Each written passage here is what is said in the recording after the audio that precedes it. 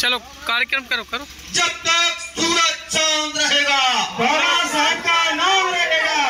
जब तक सूरज चाँद रहेगा बाबा साहब का नाम रहेगा। जब तक सूरज चाँद रहेगा। बाबा साहब का नाम रहेगा। कमेटी को बहुत बहुत धन्यवाद। साथियों आप लोगों की लगन मेहनत में चाहती है कि हम पीछे बैठने का काम ज़्यादा करते हैं। हम आगे नहीं बढ़ना चाहते हैं हम आप लोगों को आगे बैठाना चाहते हैं। आप लोग साइड से साइड से। बैठो।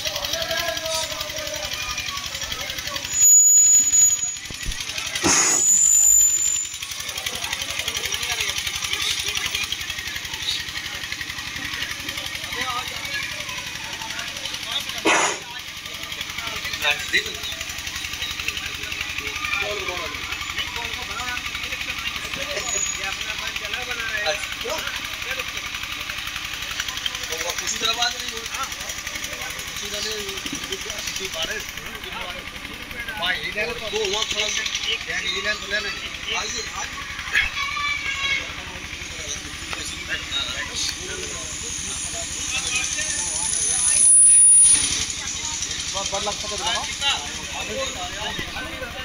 मत करिए तुम फल की परवाह मत करिए।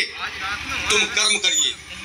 कर्म करोगे आपको बहुत बहुत मैं सम्मान साथियों आपको बता देना चाहता हूँ। आप अच्छे मन से आए हैं। हम्म, बहुत बहुत साधुवाद।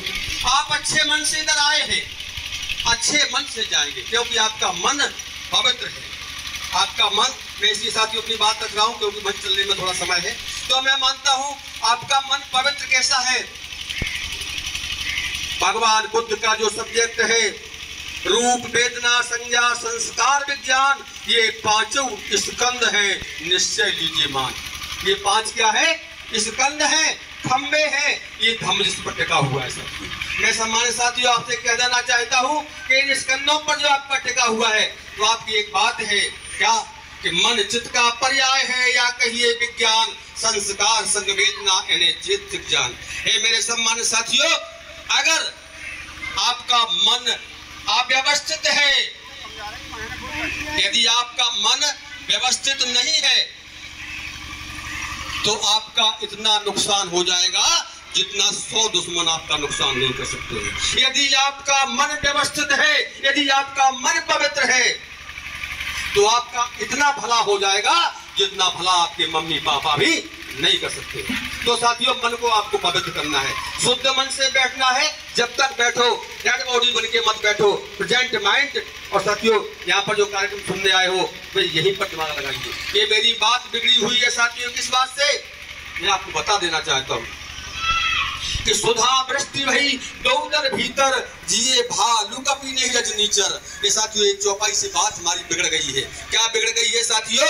लोगों को चीज़ देने में भेद किया गया साथियों, इधर वर्षा हुई तो इधर के लोग क्यों अचूक रहे साथियों तो मैं सम्मानित साथियों आपसे कहना चाहता हूँ कि एक नल चल रहा है एक नल चल रहा है। कृपया मेरी ओर देखिए एक नल चल रहा है नल के नीचे मटका रखा है मटका भर नहीं रहा। बिक जावे बेटा बेटियाँ बिना पढ़े नहीं।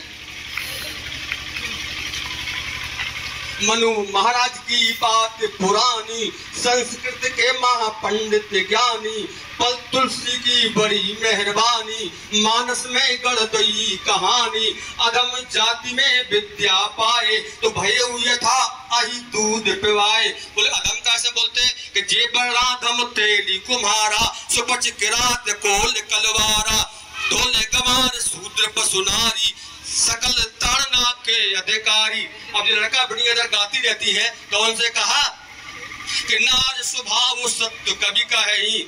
अब गुण आठ सदा धराई बोला कि महावृष्टि जे में फूट क्यारी उतने ही स्वतंत्र भय बिगड़त नारी। इतना बड़ा अनुबंध लगाया जा रहा है कि नारी आज़ाद कर दोगे तो बिगड़ जाएगी। फिर भी गा रहे कि साथियों, और क्या कहा कि जिस शूद्र के बालक नहीं पढ़ पावे और हमारा बाबा क्या कह रहा है कि चाहे खाने के बर्तन भले ही बिक जावे, बेटा बेटियाँ बिना पढ़े नहीं।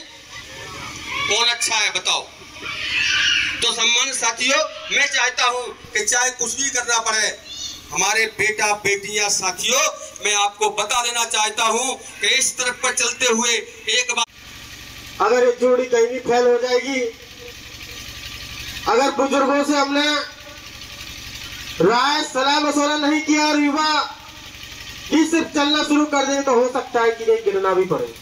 क्योंकि बुज़ुर्गों के पास वो अनुभव होता है, जिस अनुभव से हम अभी आए हुए हैं। या जिस अनुभव पे अभी हम खड़े हुए हैं। उस अनुभव से वो निकल चुके होते हैं। तो एक छोटी सी कहानी मैं आपको बताऊँगा। क्लियर तो नहीं करूँगा, लेकिन आप लोग कोशिश है कि आप लोग समझ जाएँगे। कि एक शादी होती है तो शादी में बारात की तरफ़ से लड़की वालों की एक बात आती है कि शादी में आना, शादी कर ले जाना, लेकिन किसी भी बुज़ुर्ग को लेकर मत आना। के चरणों में नमन करते हुए साथियों, और इस धरती पर, इस अखनीवा की जो आवाज़ बहुत दूर तक गई है और बहुत दूर से हमारे लोग इस कार्यक्रम को सुनने के लिए आ रहे हैं। और अभी इस समय हमारे जो साथी कार्यक्रम के पंडाल के नीचे और हमारे मंच पर जो साथी बैठे हैं, ये हमारे सब सम्मानीय हैं, सबके नाम जानता हूँ, लेकिन मैं सभी मंच को नमन करता हूँ साथियों।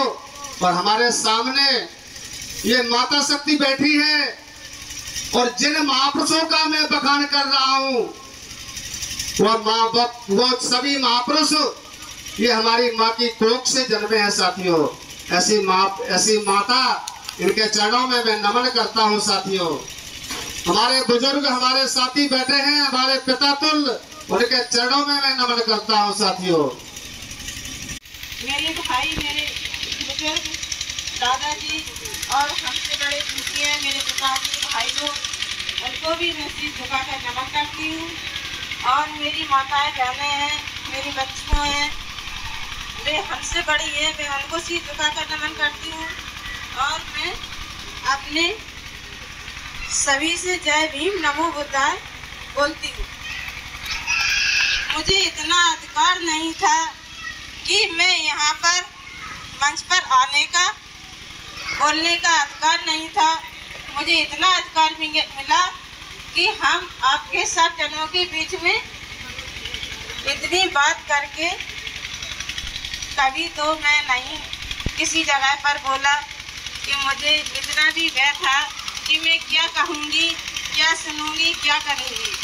लेकिन मुझे इतना अधिकार दिया। हमारे भगवान बुद्ध जी का, हमारे डॉक्टर भीमराव अंबेडकर जी का इतना यार अपना सिखाया चैनल अपने वैसे आप फ़ोटो में बात फ़ोटो बना लेना देख देखते हैं रखने का हमारे बच्चे भी आगे तैयार होंगे पाछे से। मैंने बच्चों का हौसला बढ़ा करके तो मैं यहाँ पर हमारे बच्चों को अधिकार मिला और मुझे भी अधिकार मिला बोलने का। तो मैं उनके संग में जुड़ करके रहूँगी।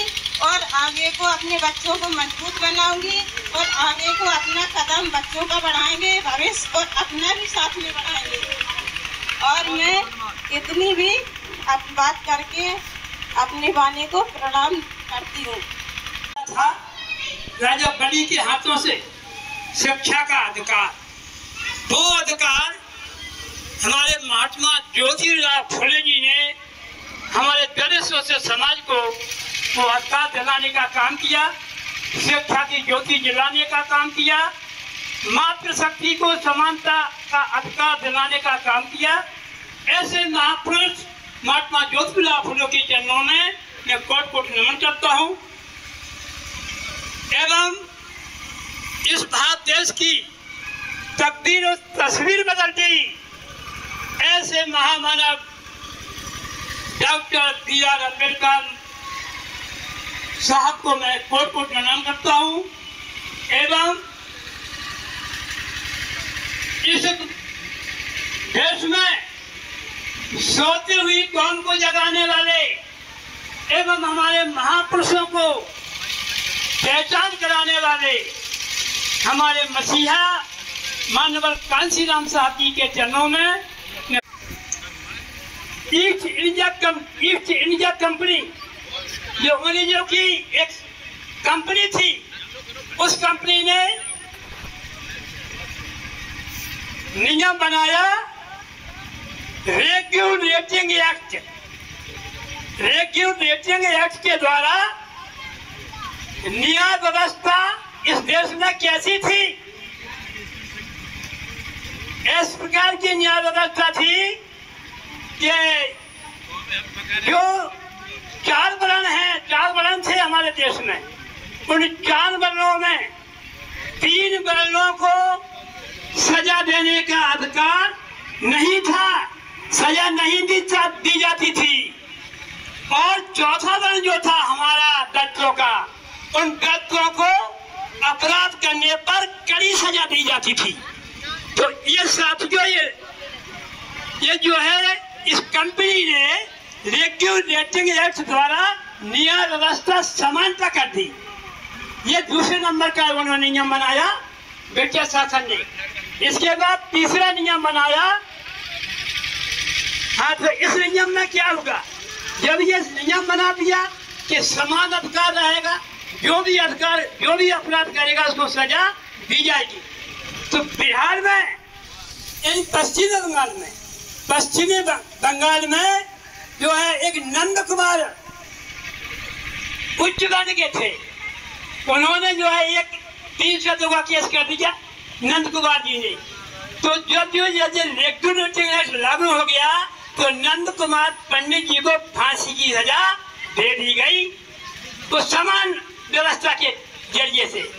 तो इस प्रकार से ये जो है उन तीन वर्णों को यह बहुत ही गुरु नारायण जी, एवं कई संत गुरुओं के साथ साथ शिक्षा एवं सफ़ाई के जनक है संत गाडगे जी और वीरांगनाओं में सर्वप्रथम भारतवर्ष को स्वतंत्रता दिलाने के लिए भागलपुर बिहार से तिलका मांझी ने पहली क्रांति बिहार से चालू की। झरकारी बाई कोरी अवंती बाई लोधी, रानी दुर्गावती एवं महारानी लक्ष्मीबाई। इसी के साथ साथ हमारे बीच में कई और महापुरुष पैदा हुए। 1800 ईस्वी के बाद राष्ट्र अठारह सौ ईस्वी के बाद हमारे बीच में जैसे ही बाबा साहब भीमराव अंबेडकर जी आते हैं, उन्होंने इस देश की स्वतंत्रता और सामाजिक स्वतंत्रता के, उसके स्वतंत्रता के लिए संघर्ष चालू किया और लंबे संघर्ष के बाद 1950 को आपका विश्व का सबसे बड़ा एक संविधान दिया, जो तथागत गौतम बुद्ध से लेकर के राष्ट्रपिता महात्मा ज्योतिराव फुले तक के जितने महापुरुष थे, उन सभी महापुरुषों की विचारधारा को आपको संविधान में लिख करके और उन्नीस सौ पचास